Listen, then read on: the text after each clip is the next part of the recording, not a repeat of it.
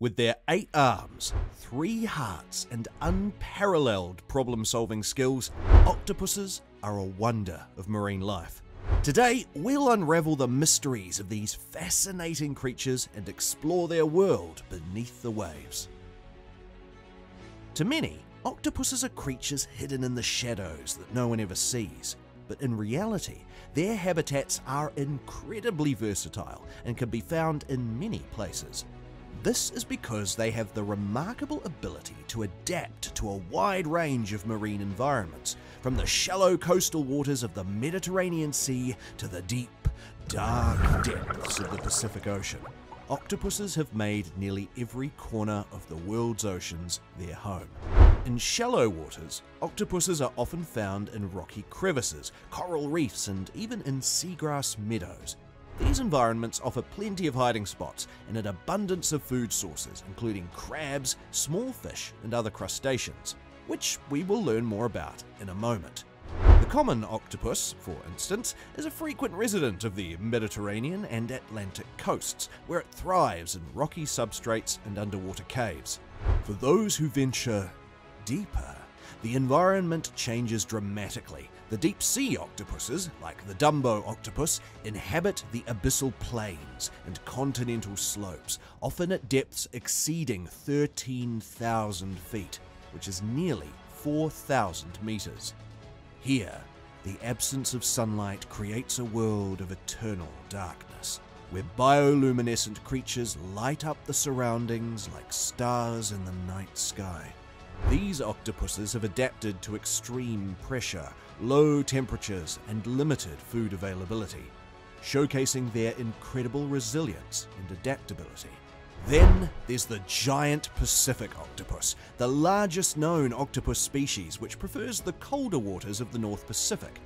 They are often found in underwater caves and rocky outcrops, where they can easily camouflage and ambush their prey.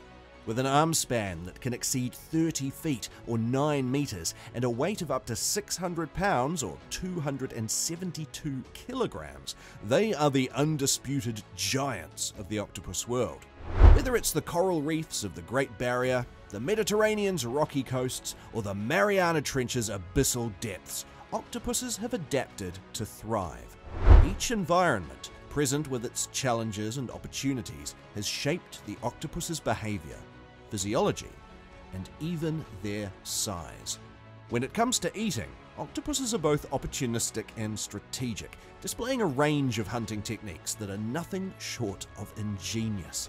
Their primary diet consists of crustaceans, mollusks, and small fish, but the way they go about catching their prey is where the real fascination lies.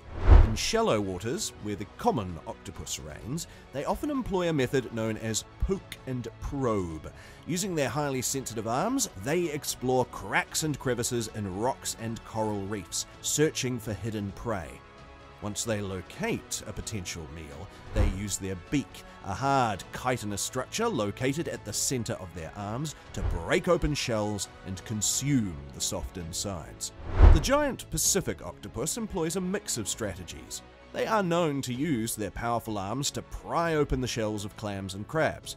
Some have even been observed using tools, like rocks, to block the entrance of their prey's lair, effectively trapping them inside. This level of problem solving ability is rarely seen in the animal kingdom. Whether opening a screw top jar to get to the food inside or escaping from enclosures, their intelligence is evident in their hunting tactics and behaviours. But what sets octopuses apart from other marine animals is their use of camouflage. Their ability to change colour and texture instantly allows them to blend into their surroundings, making them nearly invisible to both prey and predators. This mastery of disguise is made possible by specialized cells in their skin called chromatophores, which can expand or contract to produce a wide array of colors and patterns. Now, when it comes to the life cycle of an octopus, it is just as fascinating as its intelligence and adaptability.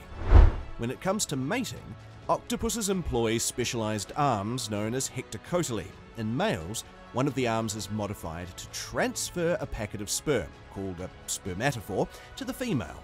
This arm is often inserted into the female's mantle cavity, where fertilization takes place.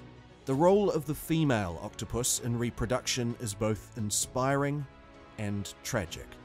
After fertilization, the female lays thousands of eggs, which she attaches to a hard surface in a secluded area, often inside a den. What follows is a display of maternal care. The female guards her eggs diligently, aerating them with her arms and keeping predators at bay.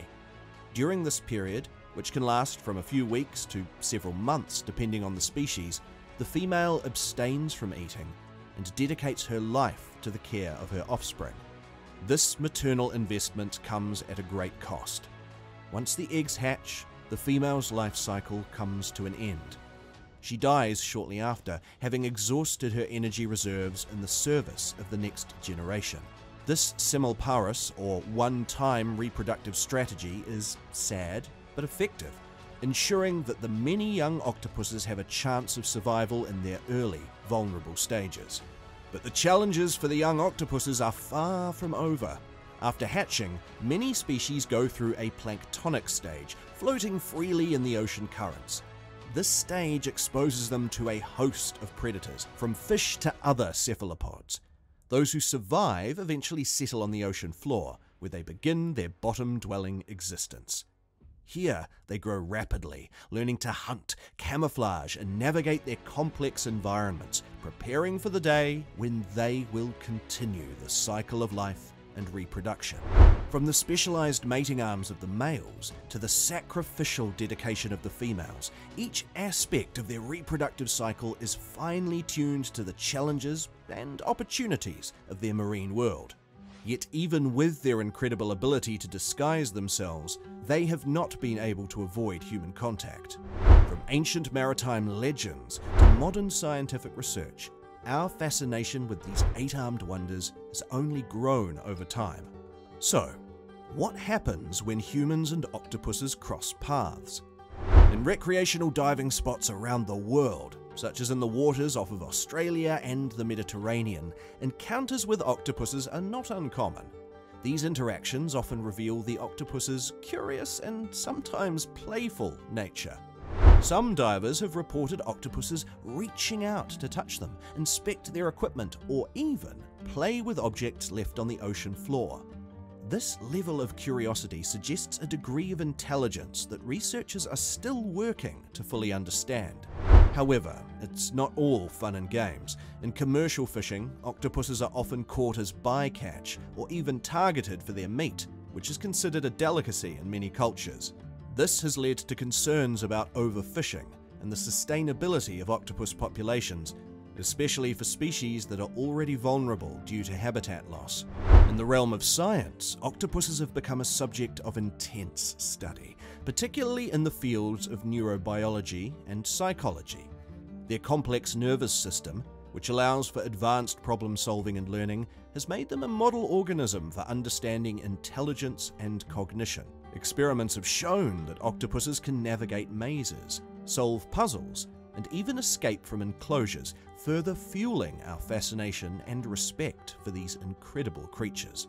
Yet, despite their adaptability and intelligence, octopuses are not immune to the challenges posed by human activities and environmental changes. Overfishing is a significant concern, especially for species that are targeted for culinary purposes, in some regions, octopuses are caught in large numbers, either intentionally or as bycatch, leading to population declines and disruptions in local ecosystems.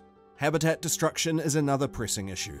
Coral reefs, rocky coasts, and other habitats that octopuses call home are increasingly threatened by pollution, climate change, and other anthropogenic factors. The loss of these habitats affects octopuses and the myriad other species that share their environment. However, due to their wide distribution and diverse habitats, some species are less vulnerable than others. Yet, the lack of comprehensive data on population sizes and trends makes it challenging to assess the true extent of the threats they face.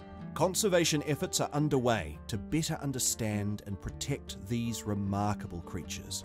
Marine protected areas are being established to safeguard critical habitats, and sustainable fishing practices are being promoted to minimize overfishing. If you're captivated by the incredible world of octopuses and want to contribute to their protection, now is the time to act. Support conservation efforts, adopt sustainable seafood choices, and educate others about these amazing marine animals.